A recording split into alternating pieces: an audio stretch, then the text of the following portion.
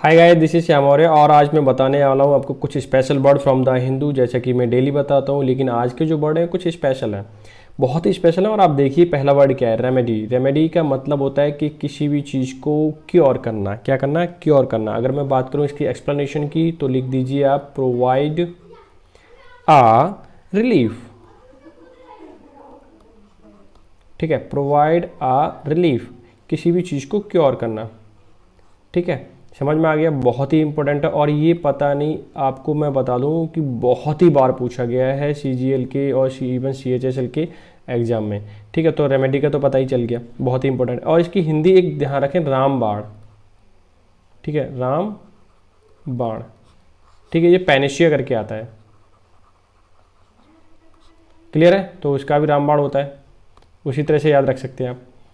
दूसरा है, एक वर्ड है एग्जासरवेट एग्जासरवेट का मतलब होता है कि किसी भी चीज़ को मेक खराब कर देना, यानी कि मेक वर्ष वर्ष तो जानते ही हो ना? बैड वर्ष बर्शेन होता है ना? ठीक है डिग्री होती है।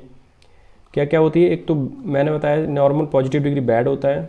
डब्ल्यू आर एस ई वर्ष हो गया comparative degree W R S E N बर्शेन ठीक है, ये क्या होता है? सबसे ज़्यादा खराब हो जाना। जैसे कि क्या होता है? आपने पढ़ा होगा गुड ठीक है बैटर एंड बेस्ट तो सबसे अच्छा ये हो गया बेस्ट और बेटर नॉर्मल कंपैरेटिव दूसरे से अच्छा है। गुड तो आप जानते ही पॉजिटिव डिग्री है। ठीक, वैसे ही ये वाली भी डिग्री होती है। ठीक है, सारी चीज़ मैं आपको याद कराता चलूँगा, एक बार में। बस आपको क्या करना है, अच्छे से लिखते जाना है। अगर मैं एग्जेसरवेट के मतलब किसी चीज़ को ख़राब करना तो इसका जो सिनेम होगा, वो क्या क्या हो सकता है, देख लेते हैं। एग्रीवेट करना बहुत ही इंपॉर्टेंट है। मैं वही वर्ड लिखा रहा हूँ, जो कि बार बार पूछे जाते हैं एग्ज़ाम में। ठीक है एग्रीवेट करना। क्लियर है? अच्छा दूसरा वर्ड क्या होता है वर्षेन जैसे मैंने आपको बता ही दिया है। अच्छा और क्या हो सकता है? एग्जास्परेट हो सकता है, ठीक है? एग्जास पी आर ए टी कहाँ नीचे लिख गया? कोई नहीं। ठीक है एग्जास्परेट ठीक है? एक ही वर्ड है ये? ऊपर नीचे लिख गया, कोई इशू नहीं है। ठीक है, बहुत ही इंपॉर्टेंट वर्ड है, आप इसे अच्छे से याद कर लें, ठीक है? तो मैं नेक्स्ट वर्ड देखता हूँ, क्या हो सकता है भाई? ओ I think something has no ठीक है इशू ठीक हो गया। नेक्स्ट देखते हैं अमेंड अमेंड का मतलब क्या होता है? अमेंड का मतलब होता है किसी चीज़ को इम्प्रूव करना, सुधारना। ठीक है? ठीक है, ये मॉडिफाई करना। क्लियर हो गया? मॉडिफाई भी कई बार पूछा अमेंड भी कई बार पूछा गया, इसलिए आप इनको अच्छे से याद कर लें। ठीक है? ताकि मैं अब मैं नेक्स्ट वर्ड देखता हूँ।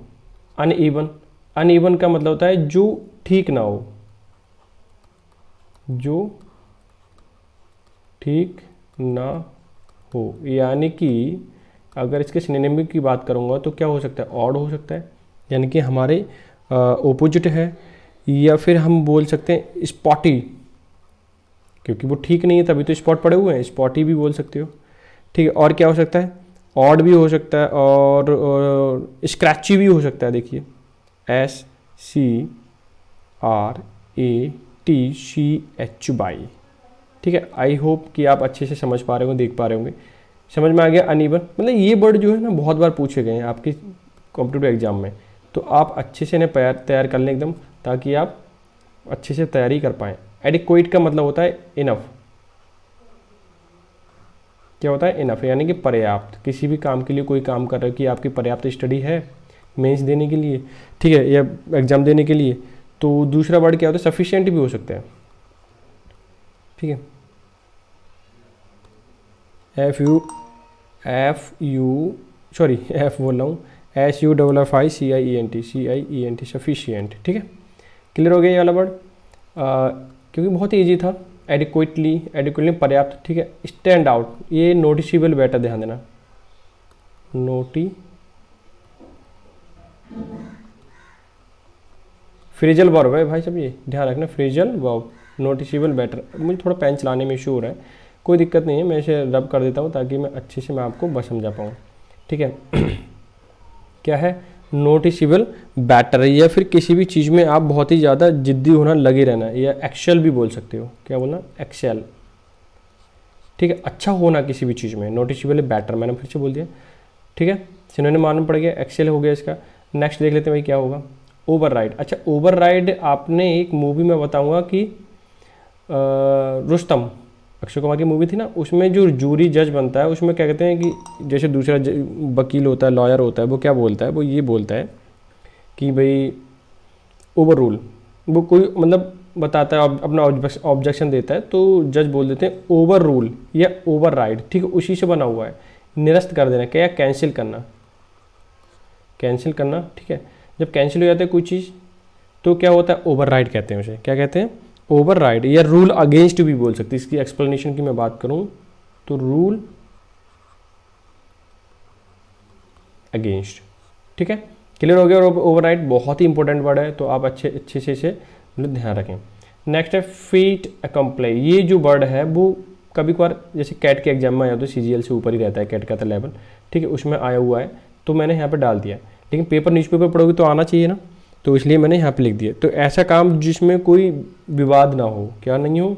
विवाद नहीं हो। तो मैं निर्विवादित लिख देता हूँ। तो निर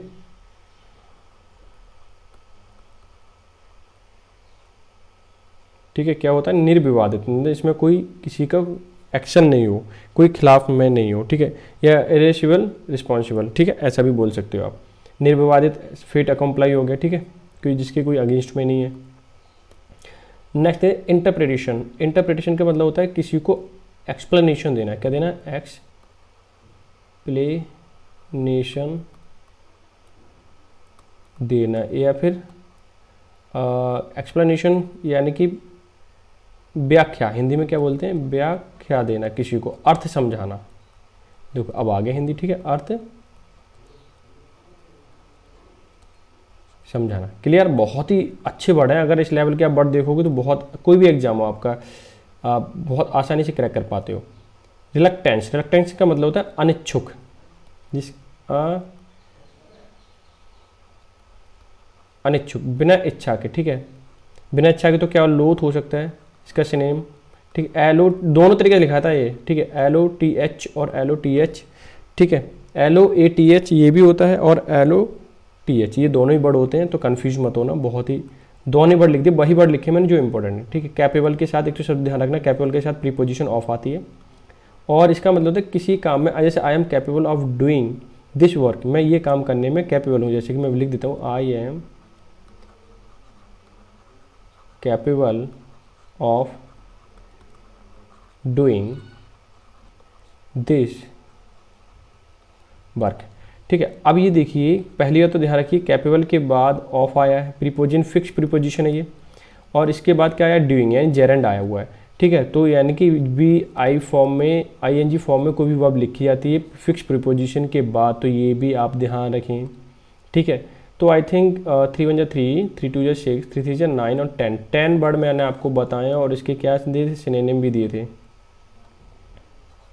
ठीक है तो इसे अच्छे से परफेक्टली आप इसे लर्न कर लें, ठीक है, ताकि आप किसी भी एग्ज़ाम में, जो भी, जब भी आपका एग्ज़ाम हो, मान लीजिए आप सीजीएल का एग्ज़ाम है, मैं बता रहा हूँ जो जो वर्ड मैं आपको बता रहा हूँ, वो अच्छे से रट्टा मार लें आपको हर जगह, चाहे आपका सिनेम हो एंटो हो, ठीक है, या फिलअप हो, और या फिल हो, या फिलिप फिलअप करना, और इम्प्रूवमेंट हो